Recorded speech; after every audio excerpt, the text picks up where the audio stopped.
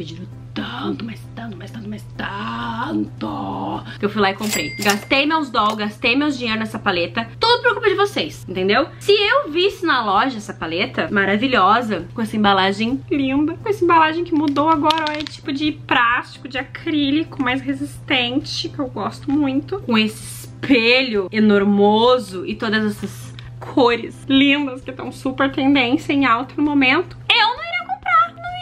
Eu ia passar reto, acho que não, eu não ia nem botar o dedo assim pra testar. Mas não, né, vocês tinham que querer resenha dela. Aí eu não pude estar resistindo e eu comprei, só por causa de vocês mesmo, tá? Aham, Cláudia, senta lá.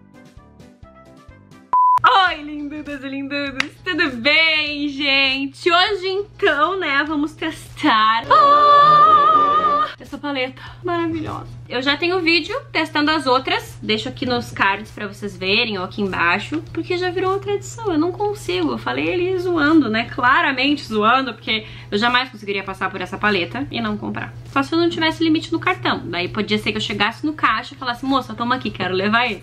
E daí desse não autorizada. Aí eu ia embora chateada, devastada, empacotada. Beauty não para, né, gente? Lançou então essa paleta que eu amei o nome, chama Mercúrio Retrógrado, né, na tradução, que em inglês é muito difícil falar, gente. Mercury, Mercury Retrograde. Eu não vi resenha dessa paleta ainda, eu não sei como que eu não vi, porque eu tava muito curiosa sobre ela. Só que eu sei sim, eu nem sabia da existência dela. Ah, é verdade, é verdade. Eu não sabia, vocês que me alertaram. Compra a nova paleta Ruda. Eu ouvi tanto isso que eu cheguei lá na Sephora, o primeiro dia eu falei, qual é a paleta nova da Ruda? Daí a mulher me mostrou lá que tinha essa e tinha as menorzinhas, daí eu achei maravilhosa e comprei, né? Comprei, comprei, comprei, tá comprado, gastei. Ela tem cores mais pro lilás, violeta, azul aqui, ó, a gente vê bem isso, tá? Ó. Os vinhos também são um pouco mais com esse fundo mais roxinho, tá vendo? Tipo esse aqui que é a Libra, essa aqui é a Hot Mess, essa aqui é a Off Balance. Tem dois tons aqui, ó, mais esverdeado, esse aqui eu até tava achando que era azul, mas não, ele é verde. E aí os tons mais neutros, né? Mas ela veio de novo com uma textura bem diferente. Tem três texturas de sombra, pelo que eu tô vendo aqui, o que eu gosto gosto muito, eu, eu tô gostando muito disso de brincar com textura. Eu tava muito acomodada na minha zona de conforto de usar sombra mate e algum glitter e algum pigmento. E eu tava meio que desligada, sabe, de sombra com textura. E agora, tipo assim, eu tô só por sombra diferente, com textura diferente, quero testar e tudo mais, então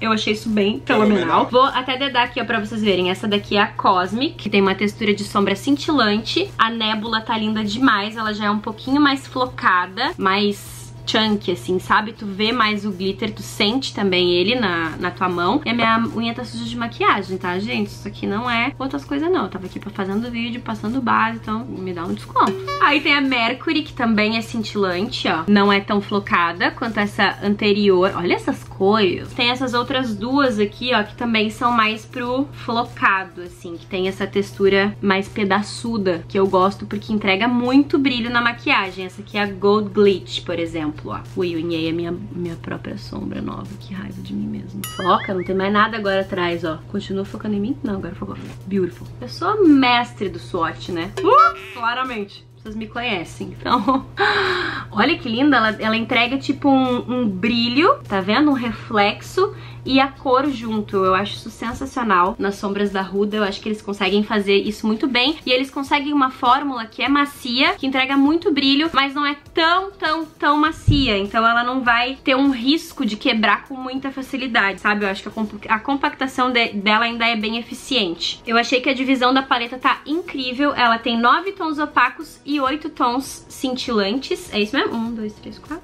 cinco, 6, 7, 8, 9. 9, 9. Ela tem metade, metade, tá, amiga? Tem esse espelhão lindo, a paleta tá incrível. Então, assim, chega de falar, né? Cala a boca, Eduarda. Eu vou começar com essa sombra aqui, que é a Super Moon, que tá belíssima. Eu queria muito poder aplicar ela com o meu dedo, mas... Ah, eu tô sem nada na pálpebra. Um minuto, vamos, vamos preparar a pálpebra, menina. Enfim, dizia eu que eu vou começar com essa sombra aqui, primeiro com o pincel de esfumar, só pra eu fazer um teste. Hum, mas fica linda. Ó, com o pincel de esfumar, ela tá entregando mais brilho, né? Não tá entregando muito fundo de cor, que é bem clarinha. Deixa eu tentar, né, amiga? Se tu não tiver unha de Zé do Caixão, tu sabe que tu vai conseguir, né? Com o dedo. Ah, eu consegui. Ah, eu sou demais. Gente, que sombra linda. Ai, vocês estão vendo? Ai, eu fico tão frustrada de não conseguir mostrar na câmera o tanto que esse negócio é bonito pessoalmente. Me dá um... Mas olha, tá linda. Ai, amiga, eu tô chocada. Juro pra ti. Tô chocada em Cristo com essa sombra. Essa que eu usei é a Super Moon. Ela é muito bonita. Parece um pigmento prensado mesmo. Vou até tentar usar ela como iluminador depois. Pra ver o que que se sucede, né? O que que acontece. Vou vir com o dedão em cheio aqui, ó. Pra já pegar embaixo aqui também. Cantinho interno. Olha, que noivística. Seria uma eleita pra eu usar na minha maquiagem do casamento? O que, que vocês acham? Caso em 2020, amigas, tu não sabe, em breve vai começar a ter mais vídeos sobre isso aqui no canal. Em seguida, eu vou aplicar Nebula, que eu achei muito beautiful também. E I need to see essa sombra no meu olho. Não tá nem molhada, guria de Deus! Abençoa e multiplica, tá muito linda essa sombra.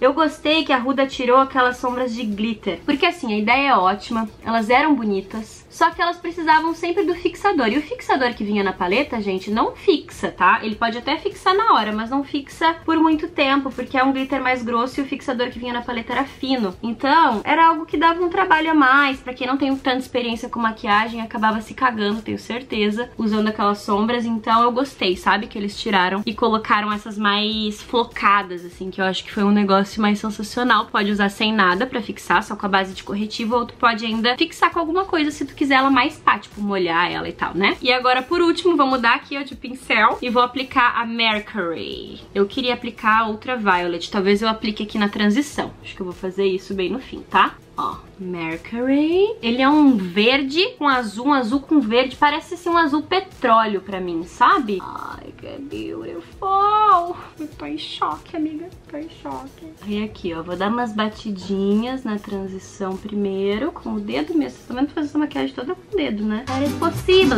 Nem é desafio, mas tô fazendo. Mas eu vou fazer coisas com o pincel também. A gente pode fazer um desafio mais pra frente, vai ser top. Com esse pincelzinho aqui, ó, eu vou pegar daí agora a Ultraviolet. E eu vou aplicar aqui bem no meio, ó, da transição do azul para sombra nebula. Que é tipo uma mistura de prata com roxinho, assim, com lilás. É linda! Bem na transição. E sombra cintilante é muito fácil de trabalhar, gente. É muito fácil, porque elas entram uma dentro da outra de um jeito muito simples e muito rápido, assim, sabe? Aí vou voltar com essa daqui, só na, no cantinho externo aqui. Aí eu sei que tu tá apavorada, né? Pensando o que aconteceu com a Duda, ela foi abduzida. Esse olho aí todo marcado, meu Deus. Eu sei que tu já está sem fé e esperança, quase fechando o vídeo. Indo mandar, né, uns prints desta maquilagem para algum site de fofoca. Mentira, sei que tu não tá fazendo isso não. Sei que não. Sei que tá linduda de coração. Se tá linduda raiz, tu sabe que vai dar certo. Ou será que não? Aí, pra esfumar, eu vou começar com Utopia. Ó, ela esfarela um pouquinho mas bem dentro do aceitável. E eu realmente não me importo, porque eu acho as sombras da, da Ruda macias, fáceis de esfumar. Teve uma paletinha da Ruda que eu até já reprovei, né? Não sei se vocês vão lembrar disso, mas eu me lembro.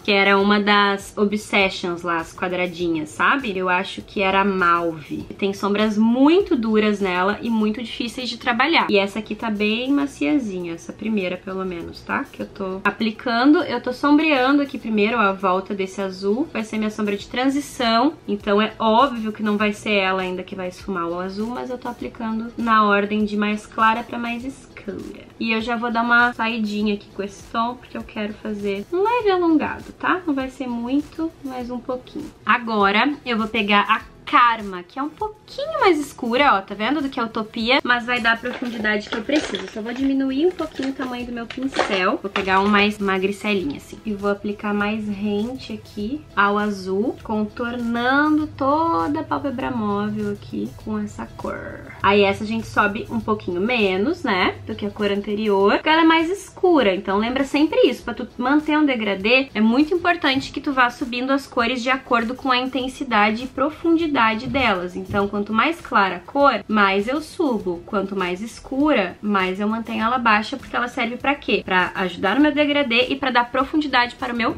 côncavo, tá? Aí agora eu vou pegar a cor Hot Mess, que eu tava louca pra usar. É um tom meio de vinho, assim, ó. Mas não chega a ser um vinho tão, tão frio. Eu tenho vinhos mais profundos e mais frios que esse. E ainda tem a Vortex. Não, Vortex que é um tom de, de vinho bem escuro, mais pro uva, assim, sabe? Não é preto, mas simula bem aqui o trabalho de um preto. Então vamos começar com a Hot Mess. A Hot Mess eu vou usar aqui, ó, bem contornando mesmo essas sombras no globo ocular. É ela que vai dar a transição para as cores anteriores que eu apliquei, tá? E a próxima cor é a que vai dar transição para as cores da pálpebra para ela. Já gosto do que eu tô vendo aqui, ó. Já fiz desse olho, vou fazer desse. Peguei um pincel bem fininho e agora eu vou pegar a Vortex e vou contornar aqui bem, ó, acima do globo ocular, exatamente no côncavo, tá? Porque essa cor a gente realmente precisa ter controle. Ela é bem pigmentada, é fácil de trabalhar. É só tu não pegar muita cor, muita sombra, que não vai ter problema, tá, amiga? Tu vai conseguir manter ela aqui, né, onde tu quer, sob controle. Porque quem manda aqui sou eu. Tem que deixar isso claro pra sombra, entendeu? Essa cor é a que mais vai dar profundidade da paleta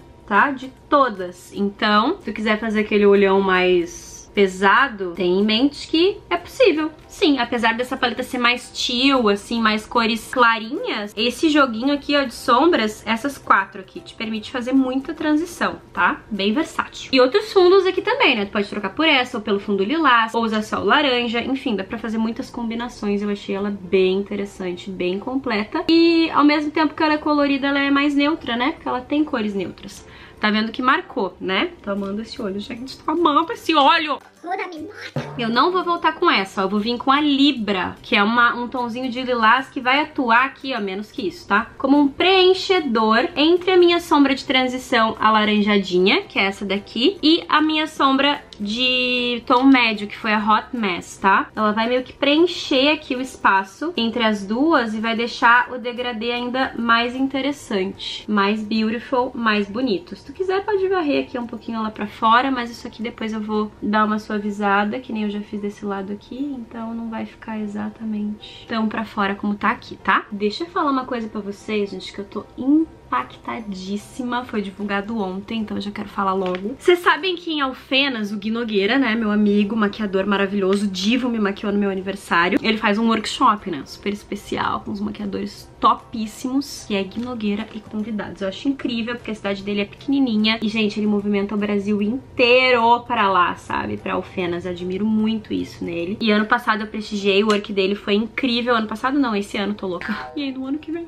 eu, Duda Fernandes, lá do cursinho do Senac, sabe? Que começou a maquiar assim por acaso, porque gostava de assistir o vídeo da Camila Coelho. Você é uma das palestrantes. Tu acredita? Eu não consigo acreditar ainda. Gente, o time tá incrível, tá muito de peso. Eu não vou contar quem é, mas são quatro mulheres contando comigo e o Gui. Então eu vou deixar aqui embaixo as informações, é só tu entrar em contato lá com o Xande, que é quem tá organizando, o Xande maravilhoso. E já garantiu o teu ingresso, amiga, porque eu acho que esse negócio vai ser bombástico. Já tá à venda, tá? É 27 de julho de 2020 e já tá à venda e já tá bombando. E eu tô muito feliz, tô sem acreditar. Estou esfumando aqui, ó, com pincel limpo, tá? Porque como eu disse, eu quero suavizar aqui esse final. Então eu esfumo com pincel limpinho e aí eu venho com a esponjinha aqui, ó, e só dou umas batidinhas pra controlar mais aqui onde esse negócio vai, tá? Nossa, gente, usei várias sombras, né? Tô feliz, nem contava com isso, de repente aconteceu. Aí antes da gente ir pra parte de baixo, eu vou usar Cosmic, que é essa cor meio rosé pra iluminar rente a sobrancelha. Como ela tá meio laranjinha, meio rosé, ó, eu venho com a Cosmic, vai ficar bem forte assim, não te assusta, tá? Porque a sombra é flocada, ela não é só cintilante, então ela entrega bastante brilho. Primeiro eu faço assim. E agora com o meu pincelzinho dedístico, ó, eu dou umas batidinhas que aí tu já esfuma, tira o excesso, mas o glitter em si, que é o que eu quero que fique mais forte aqui, não sai tanto. Tenho a base, vou vir com a Super Moon, que foi a que eu usei aqui no canto interno, ó. Só o brilho assim, tá vendo, ó? E vou depositar bem abaixo do ponto alto. Quero isso aqui brilhantíssimo. Ah, não tem como, né, gente? Pegar uma paleta dessa e não usar muito brilho. É impossível. Pra mim é impossível. Eu não tenho assim maturidade, discernimento pra estar tá fazendo isso. É verdade. Aí aqui embaixo eu vou ser mais ousada ainda. Porque não viemos para pouco, entendeu, Huda Beauty? Não viemos. Eu vou pegar a cor Haze, que é esse tom de verde turquesa maravilhoso vou depositar aqui abaixo dos olhos. Vai ser o meu tom de transição aqui de baixo. Olha como é pigmentado. Isso aqui tá selado já. Certo seria eu tá dando aderência com alguma coisa, mas eu quis testar como é que ele, que a sombra adere aqui embaixo numa superfície mais seca. E passou muito bem no teste, viu? Porque é realmente bem macia. Fácil de trabalhar essas sombras opacas, gente. Eu achei muito fácil. Eu acho que a fórmula tá um pouco mais macia, tá? Do que ela costumava ser. Sendo bem sincera assim pra ti, eu acho isso. Aí eu vou pegar a cor Mercury aqui. Vou molhar meu pincelzinho com bruma e vou tacar ali ela aqui, menina. Como se não houvesse o amanhã. Porque afinal de contas, né, amiga? A vida é muito curta para não brilhar. Que ela é muito bonita pra ela tá só aqui no finalzinho, singelamente, como ela tá. E, inclusive, eu já vou retocar ela aqui, ó, porque no esfumado é natural, né, gente, que ela suma. E aí já fica até aqui uma, um diálogo, ó. Uma emenda e uma conversa entre as duas. Capite? Não. O dedo mesmo, ó, já esfuma aqui dando batidinhas na bordinha dela. Olha como esfuma fácil. É muito simples trabalhar com esse tipo de sombra. Amiga, vamos botar uns lashes nisso aqui, né? Vamos botar uns cílios. Eu nem sei como esse cílio vai ficar, porque ele é meio pequeno, mas é o único que eu trouxe. Então, espero que fique bom. Voltei! Cílio aplicado, já apliquei batom também, fiz uma misturança aqui de batom e apliquei um glossinho por cima. E aí agora eu vou só aplicar uma máscara dos cílios, né, amiga, nos cílios inferiores. Aqui pra gente finalizar esse look. Pronto, máscara de cílio aplicada. Também esqueci de falar que eu apliquei um lápis verde, tá? Na linha d'água, por isso que ela tá bem verdinha assim mesmo. E, amiga, tô pronta! O que vocês acharam do look? Ó... Espero que vocês tenham gostado, porque eu me diverti bastante fazendo essa maquiagem. Fazia alguns vídeos, né, que eu não trazia maquiagem colorida aí, apesar de eu ter trazido um olho preto bem pá. Há não muito tempo aí, testando produtos de bogleiras. Tu assistiu, né? Se não assistiu, tu vai lá ver, porque ficou um olho preto bem babado. E assim, acho que eu já falei tudo que interessava, tudo de mais relevante que eu tinha pra falar sobre a paleta. Mas só pra dar um, uma conclusão, né? O que eu acho, assim, as sombras estão incríveis, com uma textura que me agrada muito, tão fáceis de trabalhar, fáceis de esfumar, fáceis de pigmentar, o que eu acho muito importante numa paleta. Eu adorei o nome, eu adorei a embalagem, acho que ela tá super durável, assim, e a seleção de cores foi feita de forma inteligente. Tu consegue ver uma história, sabe, aqui de cores que são tanto complementares ou cores análogas, que tu pode montar essa história e contar essa história de várias formas diferentes. Então, eu gostei muito, eu não acho que seja uma boa opção de paleta se for a tua primeira paleta, teu primeiro investimento de paleta, assim. Talvez tu já tenha algumas sombras, aí tu quer uma paleta, ah, comprou essa. Não, acho que existem outras opções no mercado que vão ser mais completas pra te adquirir, como por exemplo as outras paletas da Ruda mesmo, sabe? Tanto a 1 quanto a 2 são paletas que eu acho muito mais usáveis e versáteis pra tu fazer vários tipos de make. Essa também, mas ela te limita pela questão das cores mais coloridas, né? E por ficar mais limitada mesmo aos tons alaranjados, rosados, roxeados, na verdade, e verdes. E aí o resto é neutro, né? Mas é uma ótima paleta. Não me arrependi de ter comprado, achei linda. E vocês vão ver muitos looks com ela, acho que principalmente lá no meu Instagram. Então se tu não me segue, você a deixa, amiga. Arroba oficial do Fernandes. Estou te esperando lá, me ajuda a chegar a um milhão. Porque tá perto, amiga. Falta menos de 12 mil pessoas. E eu não tô nem acreditando nisso. Mas, então tá aí a minha resenha, meu teste, né? Na verdade, primeiras impressões da paleta Mercúrio Retrógrado da Huda Beauty. Eu espero que vocês tenham gostado. Comenta aqui embaixo que, que tu achou da make, o que, que tu achou da paleta, se tu compraria ou não, que eu quero saber, tá bom? Não vai embora sem clicar no meu gostei e te inscrever aqui embaixo no canal pra não perder nenhum vídeo. Beijo do tamanho do Rio Grande e até os próximos. Tchau, tchau!